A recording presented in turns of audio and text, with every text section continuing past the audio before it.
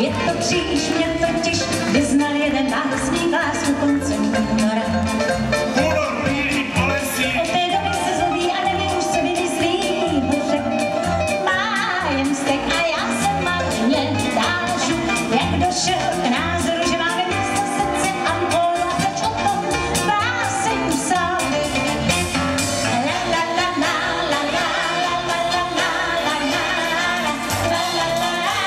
Thank you. Thank you.